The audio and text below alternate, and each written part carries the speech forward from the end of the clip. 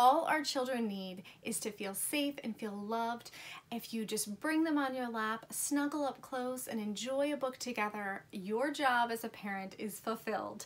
We have some amazing books that can help your child just ignite their love for um, creativity. This Draw Me a Storybook is very, very clever. This little girl, she begins reading about Little Red Riding Hood and other stories about Tom Thumb.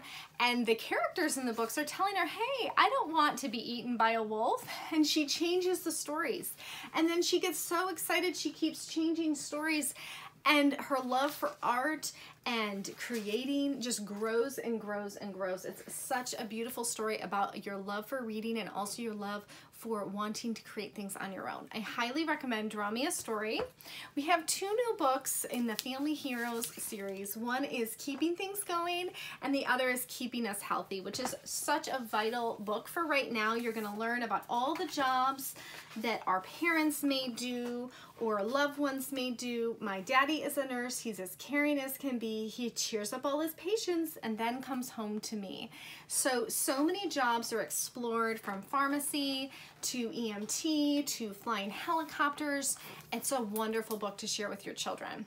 As well as keeping things going, all the people that help keep us safe from um, police officers to helpers, and um, rangers in the park, a wonderful way to honor all of the occupations and jobs that our parents and our loved ones might be, but also to get our children excited about what they might want to be someday. Um, Class Picture is a hilarious book and it really is perfect for any child who might be a little bit scared about Class Picture Day, but these hilarious animals, none of them, none of these classes can get it right for Picture, for picture Day. They're monkeying around, they're in a blizzard, it's so hilarious. I Want to Dance is such a beautifully illustrated book. Um, there's this sweet little rabbit who sees a dance studio and he wants to join himself.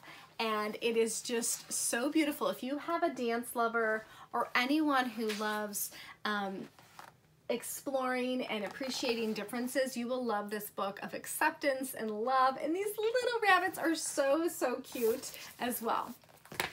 Another book about bears is so hilarious. This bear, he's a little bit fed up because all the books are about bears. And he is wondering why can't other animals be, be involved, like an anglerfish or a peacock or a worm. It's so hilarious and so sweet um, in this Bear All account. We have a new book called The Perfect Shelter, which is a wonderful book for exploring sickness in your home. If you have a loved one, or in this case, this is this little girl's older sister, so a sibling who is very sick and she has to go to the hospital. But together, they've created a perfect shelter that helps them feel safe, and that perfect shelter is really at home in their hearts. So it's just a beautiful book about um, and just sharing with a child it's an uplifting and powerful story just to um, talk about the complicated emotions that come when you find a loved one uh, when you find out a loved one is sick Lights Out Leonard is a wonderful book if your child might be hesitant to go to bed. Leonard is a very precocious child and there is a five-nosed, seven-tailed, 11-handed, scaly-whaley monster in his in the corner of his bedroom. So he just does not know what to do until he discovers a book called How to Frighten Monsters Himself. So it's a very fun, beautifully illustrated book. Highly recommend that one.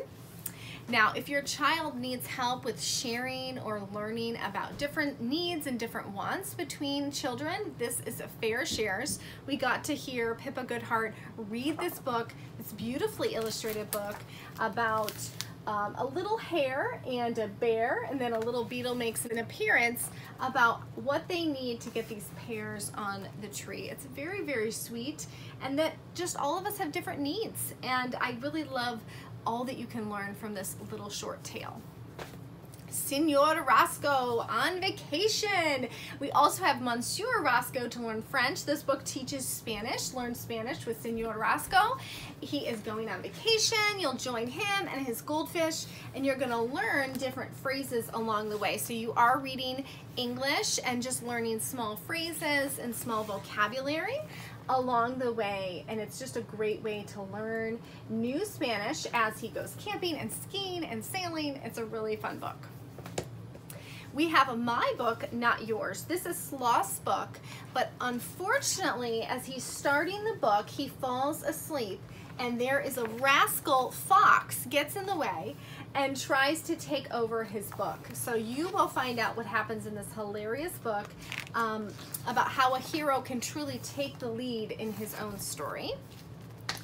We all know Luna loves Library Day, and the same author just came out with Luna Loves Art. Um, this book is so beautiful because not only does it share some beautiful artwork, here's Vincent van Gogh on the back, but it sh shares just a story of accepting and helping others as they might not feel that they fit in.